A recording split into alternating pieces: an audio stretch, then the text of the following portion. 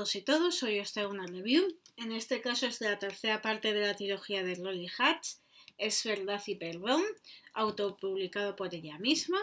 Aquí podéis ver la portada, la parte de atrás. Tiene 600... os lo diré ahora. 611 páginas y bueno, como siempre os voy a leer la sinopsis y os voy a dar mi opinión. Dice, dos años y medio después todo ha cambiado.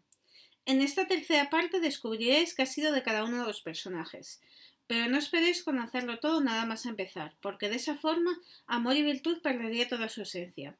En un año completo van a volver a ocurrir una gran cantidad de cosas, tantas como podrían ocurrir en la vida de cualquiera. Arabia, Jake, Derek, Emily, Louis y también Zane como protagonista. Espero que los acontecimientos os mantengan entretenidos y que todo sea de vuestro agrado hasta el final. Y recordad siempre que en esta trilogía hasta el más mínimo detalle puede resultar muy relevante.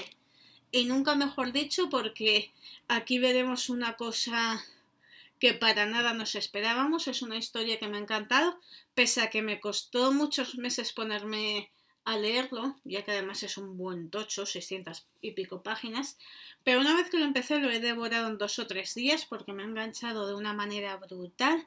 Veremos cómo les ha cambiado muchísimo la vida a todos los personajes, eh, todos los de la familia, y también descubriremos cómo nada es lo que parece, ya que no os voy a decir aquí qué, pero hay un asunto aquí relacionado que viene contado en los anteriores libros que para nada nos esperamos que sea así y que a mí me ha sorprendido gratamente. Y es un libro totalmente recomendable. Y bueno, hasta aquí la review. Como siempre espero que os haya gustado, que le des a me gusta, suscribáis a mi canal y lo compartáis en todas vuestras redes sociales y muchísimas gracias por estar ahí.